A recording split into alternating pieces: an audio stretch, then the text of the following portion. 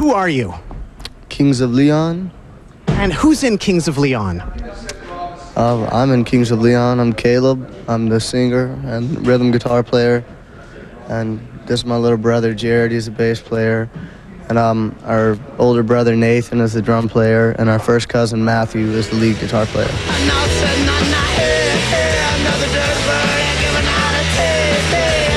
A lot of guys look at you guys, and I mean, what do people compare you to? Um, a lot of stupid shit. Yeah. Uh, yeah, they compare us to everything from Lynyrd Skynyrd to um, gay men who live in the same house together and wear mustaches. So, I mean, whatever. What's the problem with mustaches?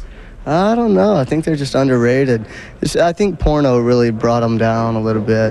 The porno days kind of killed the mustache, but actually, we're very inspired by porno. So, In a 70s porno look, you're kind of sporting, aren't you? Uh, we like the '60s a little more than the '70s, but I would say the length of our hair, maybe people would say a little '70s. Because I was just thinking, I read something that you guys don't want people with mustaches coming to your shows.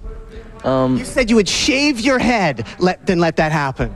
uh, yeah, I think that was Caleb. Yeah, well, I mean, it's just the thing, you know. Like, why are you allowed a mustache and not me? No, that's great. You know, we just the way that we are, we've kind of always done the opposite of what everyone wants, and you know, and what everyone thinks. That's why we grew facial hair because people at our record label told us we were handsome, and so we all just started growing facial hair to make them mad.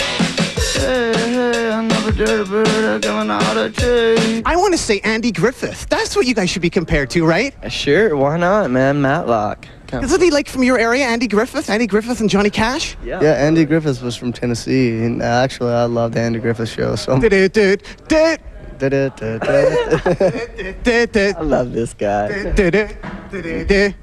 Dude. Andy Griffith theme. Do you guys know the Andy Griffith theme? Yeah, sure. Definitely. How old are you, by the way, Jared? 17 years old. 17. Can you sing the Andy Griffith theme for us? Yeah, oh, I can't sing it. You can. Can you hum it? Do-do-do.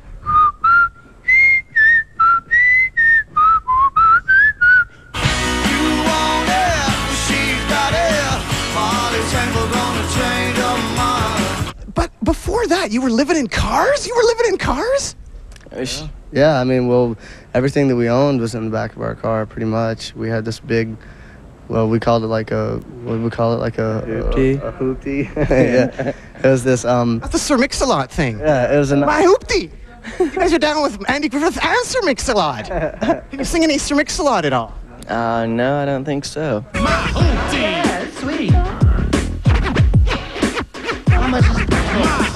I was going to say that was another influence of Kings of Leon. Well, let's just say it is that then. So you were into hoopty. Because I was wondering, what have you learned about sleeping in cars? Like, if people want to know about sleeping in cars, what are the tips to the kids out there about sleeping in a car?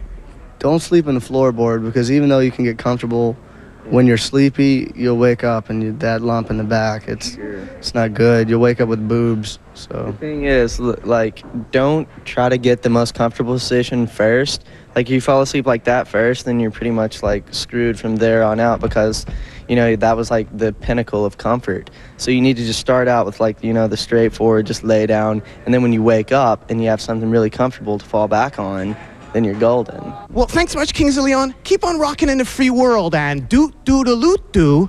dude, dude. Cheers. Thank you. No problem, bro.